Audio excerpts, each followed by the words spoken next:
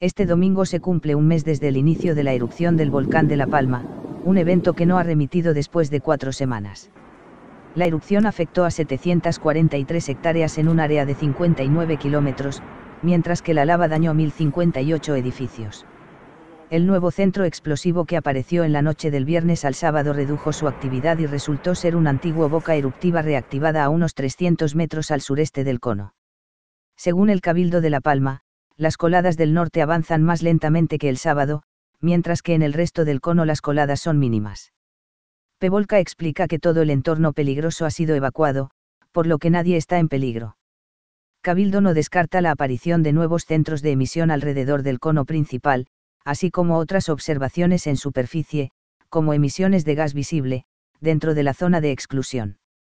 La Fajana sumó este sábado una nueva zona en cuanto a estabilidad atmosférica, con una fuerte inversión térmica localizada entre 300 y 500 metros, algo desfavorable para la calidad del aire que no se ha dispersado.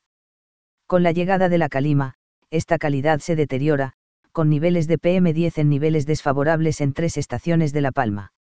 Durante la jornada del sábado se registraron un total de 111 terremotos. La sismicidad en superficie es baja, y la mayoría de ellas se producen a profundidades superiores a los 20 kilómetros. Además, se ha iniciado la perforación de nuevos pozos para obtener agua para las plantas desalinizadoras portátiles de Puerto Naos.